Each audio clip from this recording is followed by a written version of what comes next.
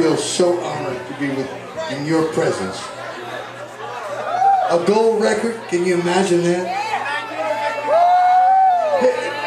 For those of you don't know what a gold record is, that's 500,000 pieces that people bought. 500,000 people.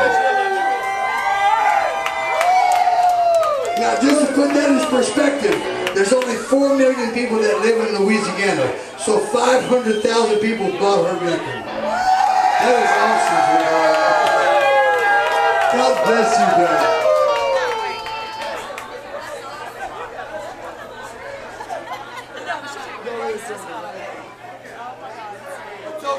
A toast to Miss Grace.